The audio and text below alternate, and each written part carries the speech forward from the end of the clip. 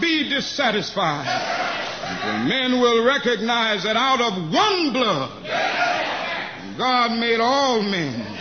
to dwell upon the face of the earth. Let us be dissatisfied until that day when nobody will shout white power, when nobody will shout black power, but everybody will talk about God's power and human